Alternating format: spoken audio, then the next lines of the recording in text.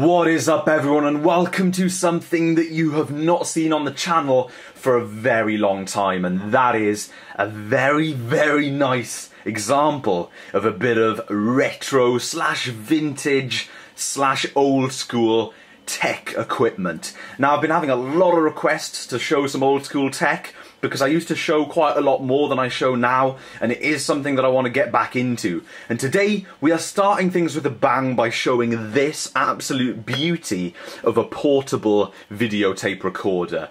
Now I just want to say it straight away, this is not mine guys and as with lots of the vintage stuff I show on the channel, it's not mine. Some of it is, and most of it isn't. This is my dad's. Um, and basically, my parents uh, buy and sell antiques, and they often find a bit of retro uh, slash vintage tech equipment and I can take a look at it on the channel. So if you guys are interested in seeing old turntables and old um, audio slash video stuff, maybe some old hi-fi stuff or whatever, post it down in the comments below. Um, I just want to see if you guys are still interested in it because I know there was a decent following for that kind of thing a few years ago.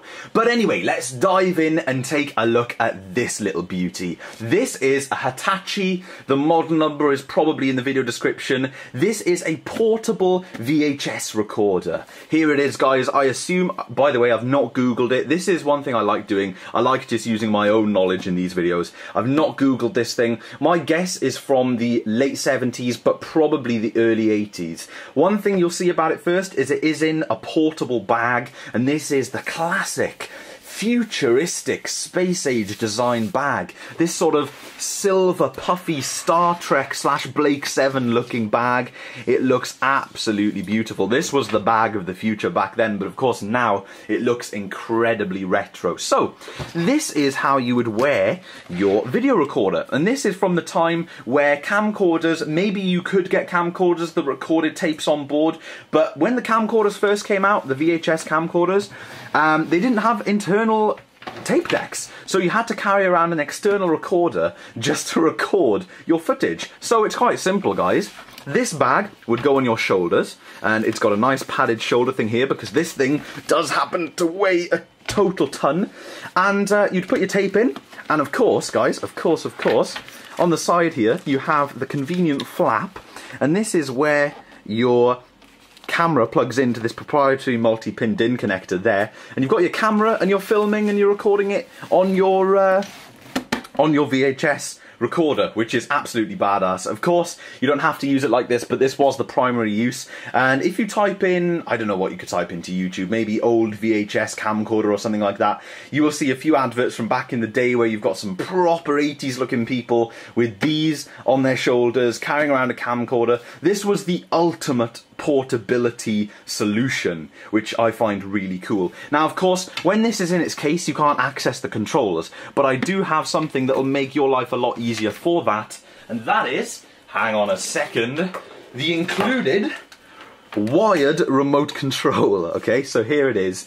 Absolutely awesome. Uh, with this, you can record you can stop, play, record. You can even do tracking and speed with these little dials down here, which is great. Now, the only thing is, I believe that you would put this cable through the side and route it around the case because this actually plugs in the front, but there is enough clearance for you to do that because it is quite a low profile uh, connector. So it does have an included remote, and we will talk about how you would power this thing a little bit later. But what I'm going to do is take this thing out of the case to show you guys a closer look because you can't really see much when it is in the case. Now, like I said, primary use is for a camcorder and my dad bought this from a guy that did used to own the original camera that went with this. It's a massive shame that we don't have it, but as you can see, included handle, of course it's a portable device.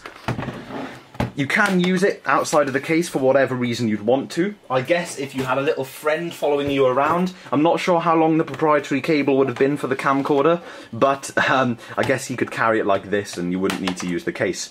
So, here it is guys. Now, of course, this is a classic top loader design. For those of you who don't know what a top loader is, you basically push the eject button, like so, and the tape goes in here. Now, pretty inconveniently, I don't have a tape. Let me go and grab one. Alright guys, I have here a recorded copy of Doctor Who Series 1. Basically, the tape goes in like this, and you slam it down, and yes, you do have to give it a fair bit of force, but you don't have to totally force it. It's just a nice solid clunk when you push it down. You're not damaging the machine in any way. And you eject the tape like so. Now this just this wasn't just a portable uh, tape recorder thing. A lot of the home VHS machines, in fact all of them to begin with, used this top loader design. And I am fortunate enough to own a couple of machines like that. I have not shown them on the channel yet because they are not working, but uh, my dad and I hope to make one working unit out of a few because I do have a couple that are the same.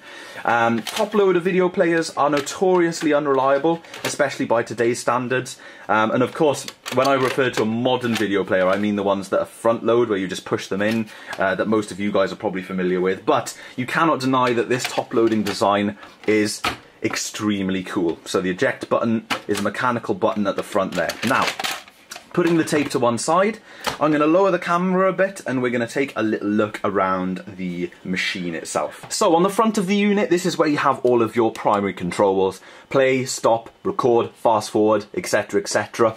Taking a look at the front here, we of course have this flip up handle and as well a few connections and buttons on the front like the remote connection we have the eject button that I showed you we have the timer clock as well as a battery indicator and a memory button and all sorts of little features on the front there turning it to the side taking a look. This is the sort of main port section, if you like, if I bring it closer. This is the proprietary DIN connector for um, the camcorder.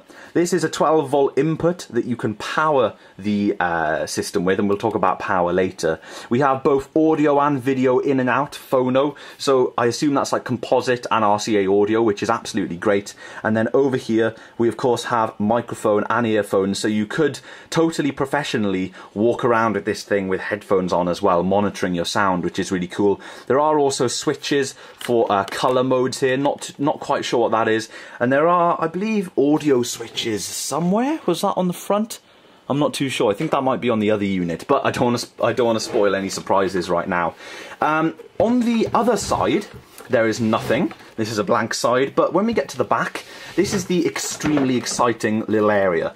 Now, I'm going to ignore this flap for now, because that brings me on to a whole other section of the video, but we will take a look at this. Now, if you slide this cover to the side, and it's very, very hard. I don't want to break it it's very hard to get off, guys. Hang on a sec. I know this is a little out of frame here.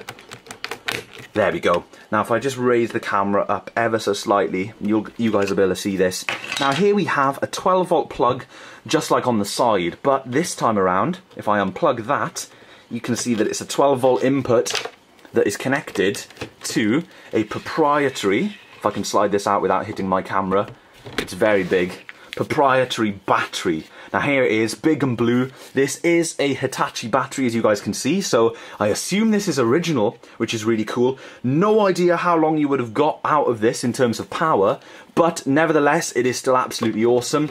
I really think it's cool. That slides in there. Um, it actually slides in the other way. Come on, Tom, get it right. There we go.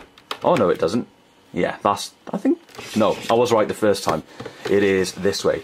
Now, I assume that they don't hold uh, loads and loads of power because if you take a look at the bag, you guys may have been able to notice the side pouch on the side.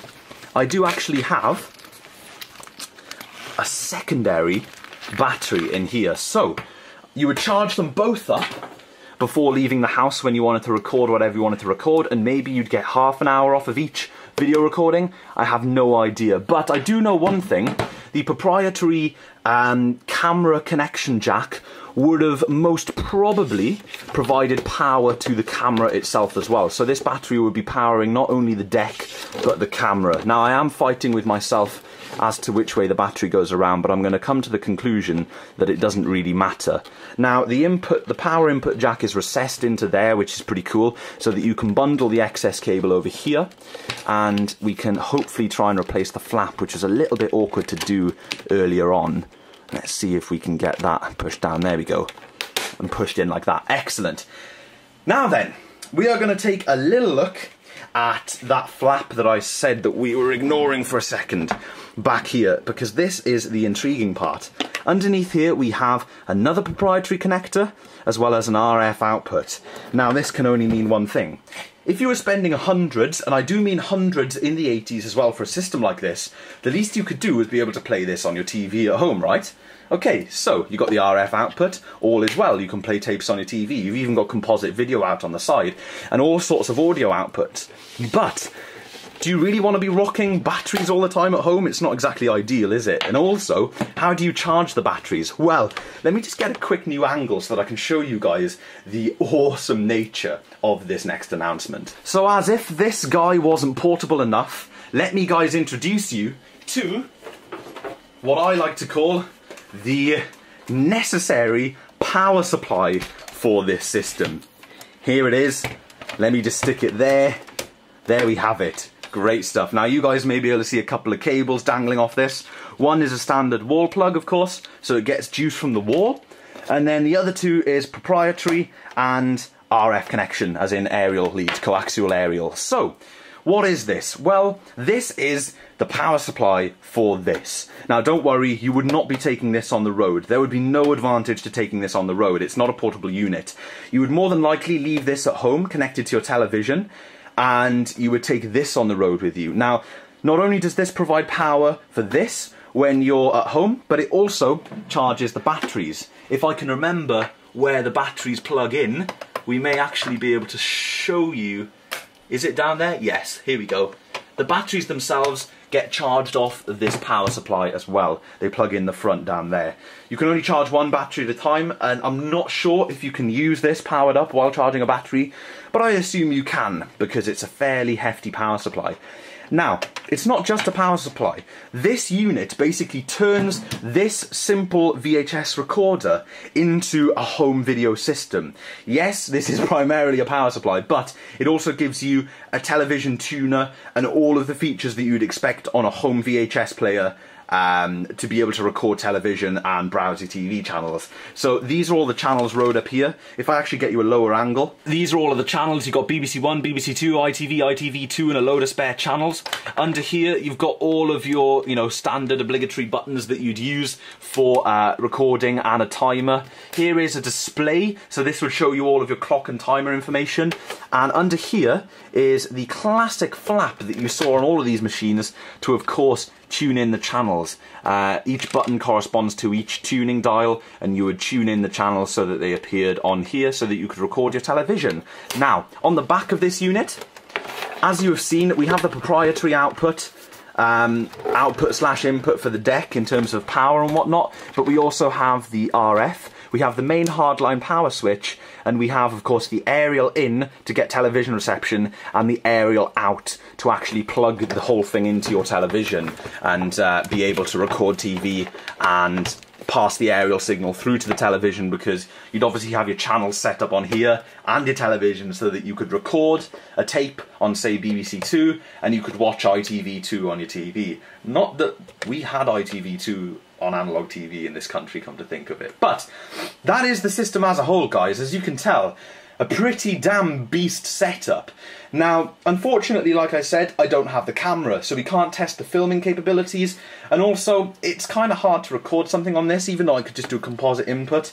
We may fiddle with it in the future, but I know my dad is probably keen to sell this. So what I'm going to do is take out the battery from in here, I'm going to hook all of this up on the floor. It'll probably take me about 10 minutes to get power and everything sorted and then we will just try and play a standard VHS tape on this system to see what it does. I do have an appropriate TV to use as well. For those of you who aren't aware, at the end of my bed I've got a nice old fat 80s CRT, so this should work and look great. But don't get your hopes up guys, loads of these top loaders are unreliable. So let's check this out, see if it works. I'm pretty excited to do so. If you're still with me this far in the video guys, hope you're enjoying a lovely bit of retro tech. I really do appreciate your viewing of my my video content. So apologies about this part of the video guys, it's going to be um, probably a little bit out of focus here and there, handheld camera work, but whatever.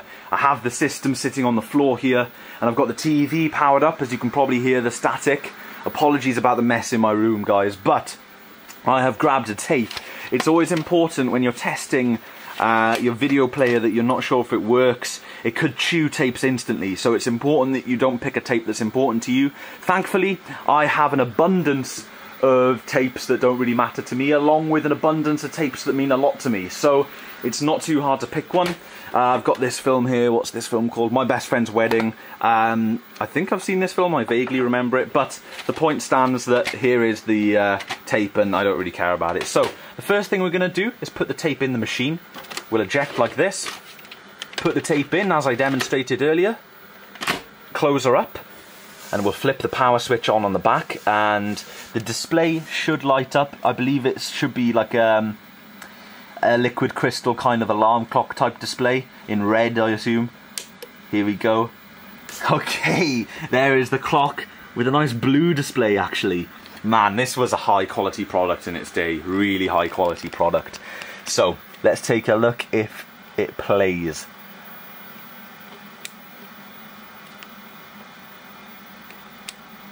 Okay, so... Ah, okay, I see hold that button down. Ah, there we have it. Ooh, what can I hear up there, guys? no way. It's Michael. Jules, it must be uh, months, huh? So, um, I can't wait to talk to you. I'm in Chicago at the. Guys, I can't show too much of films because of copyright, but as you can see, that is working. So, do you know what I'm going to do now? is I'm going to come over here. Again, apologies for the mess. I'm going to grab the original. Oh, no, avalanche. Uh, damn it. Okay, that's okay. That was avoided. The original Lost Boys, not the uh, 90s remade tape. There we go. And I'm going to stop this. I'm not 100% sure that it's not chewing tapes at the moment, guys, but I'm going to risk it because I got a good feeling about this machine. There is that random film that I tried.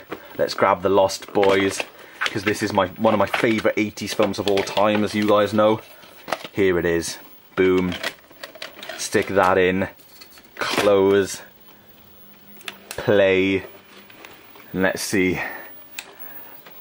This tape should be in fairly good condition as well. Let me get comfy on the bed and see if I can uh, point the camera at the screen.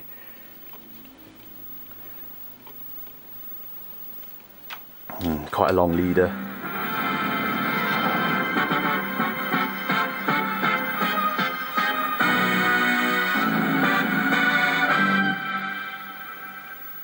Yes, now, wow, that was 80s. The Lost Boys, this is a proper cinematic um, certificate and I think there is uh, spool spots in this film, in this version of the film. Um, next reel spot, sorry. So what do I mean by that? I mean that there's two black dots on the screen in the top right hand corner every time you get to the end of a reel. So I believe this is a seven reel film. And that was before long play systems in cinemas. It was to allow projectionists to know when the changeovers were coming. So they used to have two projectors physically running, uh, 20 minute reel on each, and they used to do active changeovers. You know, projection was a proper, proper job. I was lucky enough to be able to experience a little bit of that when I first started my job. Even though we had a long play system, we still had two 35mm machines in place, so we used to do it from time to time just for fun. As you guys can see, original 80s Lost Boys tape, 1987, in very good condition here. Looking very, very good. Lovely picture on this TV, guys. Proper 80s look. And as you can see, this machine is working pretty much flawlessly. I don't want to jinx it, but I would say flawless. Now again, I can't show too much of films, so what I'm going to do is fast forward a little bit.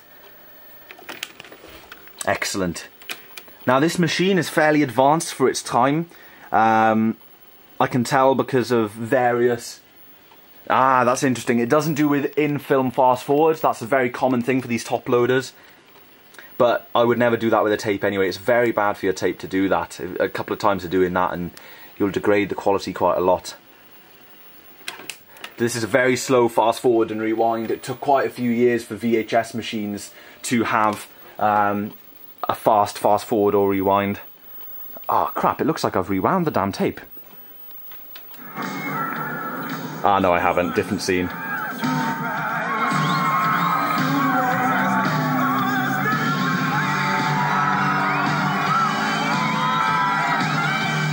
Guys, I really don't want to get a copyright strike on this video because that would just nail my channel, but if you haven't seen The Lost Boys, one of my favourite films of all time. I go on about it in so many, so many videos. Um, yeah, this is actually starting to feel like a retro IMNC video, guys. I'm, I'm loving showing this machine off, actually. This is great stuff. Great, great stuff.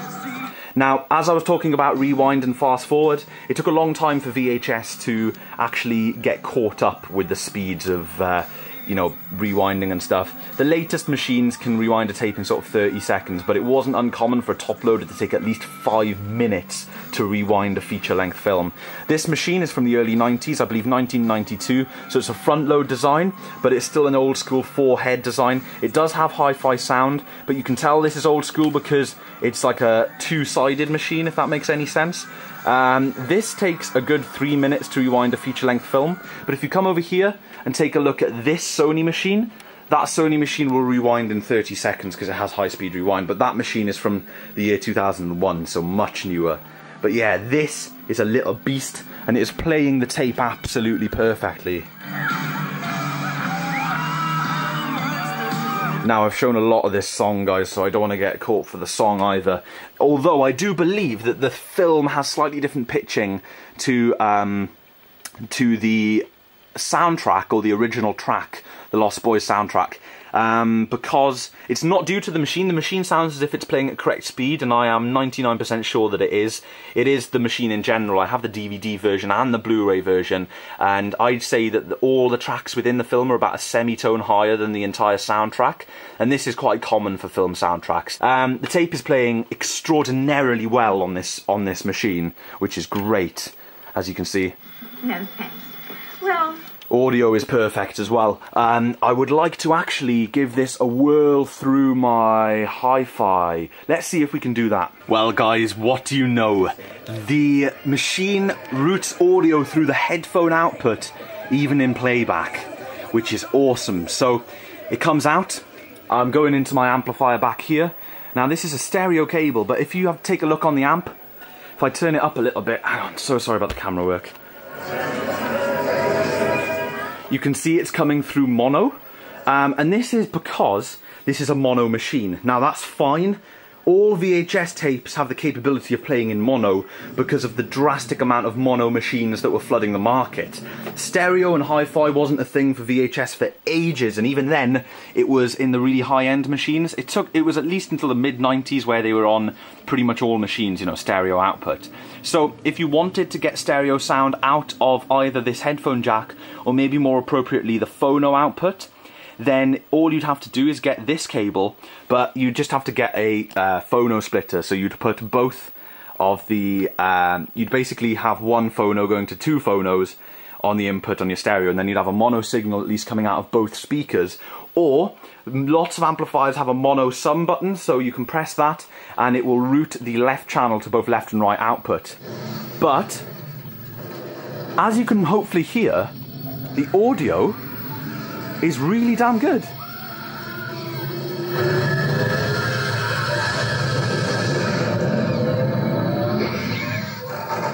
You can also get a stacked phono cable, which is like those phonos that have a phono female on the back. That would also work. Um, but of course, sometimes with a mono headphone output, it'll still have the two-pole connection, where it'll send a mono signal to both if it's a newer piece of tech, but this one only has single, and that would be just for monitoring. So uh, even old school mono headphones, you might have two actual headphone cups, but they're both receiving the same signal, they're not stereo headphones. Um, but most had just a single pole connector. So yeah, that is that. Um, alternatively, I guess you could take one signal out from the headphone output and one signal out from the phono output and then just route them both into the same input on your amplifier but then you may run into slight issues with uh, the impedance of the outputs they would probably end up being different levels but you could probably sort that out with your balance control but I know I'm going on a little bit now guys but yes excellent stuff what I will do is wait until the film gets into a great place with audio and then see if we'll crank the amp up a little bit I know I've only got one uh, speaker on the go I don't think I can route to both speakers with this amp, can I? No. Hang on a sec. Pretty cool place. If you're a Martian. No. Are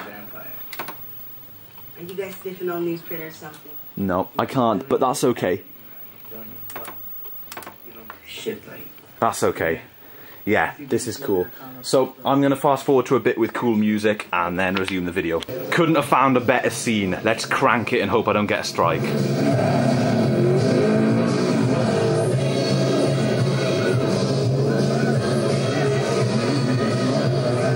Absolutely awesome. If anyone's curious, we're currently coming out of that speaker. These are Technics SB3030 speakers with the inverted dust caps. They are very nice three-way floor standing speakers. Classic 80s muddy sound, but in a really clean way, and just with a little bit of extra presence in the high end. They sound really, really nice, and only you guys that appreciate the 70s and 80s audio gear will, will know what I'm on about by that muddy sound, that muddy nice sound. Not muddy, but warm sound. It's great. Now this would be way better coming out of both speakers, but this is still great. Anyway guys, I officially cannot show any more than that right now because I will definitely, definitely get a strike and I just cannot risk that on the channel at the moment. So it is time to stop it and I am going to rewind this tape. Massive, massive thank you for you guys to, uh, massive thanks to you guys for watching this. It's been absolutely awesome showing you this. Um, this has put me in a really good mood actually. I'm so glad this machine works. I was fully prepped for it not working because of the amount of bad luck that we've had with top loaders in the past. It's great to see that the display works, the system works, audio output, everything is absolutely great. So I have a massive respect for this system. And when my dad sells it, I will be sad to see it go. Um, I did phone him when I was in the cut of this video finding a scene for the film and uh, he was very glad that it's working so absolutely great. And for those of you again who don't know this film is The Lost Boys the film that I was showing um, one of my favourite films of all time in my top five maybe even my top three favourite films of all time. So that is that. You can see how quickly that was rewound now. Not bad at all. Actually this this is quite a speedy rewind. Um, so yeah I am really pleased with this. Time to power it down. Again, huge thanks for watching everyone. Let, me know in the comments if you want to see any more retro tech stuff and then I can cover the stuff that comes in. Um, if not, then no problem at all. But I thoroughly enjoyed recording this video and I hope some of you guys enjoyed it too. So, again, Thanks for watching. Like the video if you liked it, dislike it if you didn't enjoy it very much. Please leave a comment down below. I'll answer your questions if you have any. Again, not an expert on this type of stuff, but still really, really enjoy playing around with it. Cheers guys, I will see you in tomorrow's video.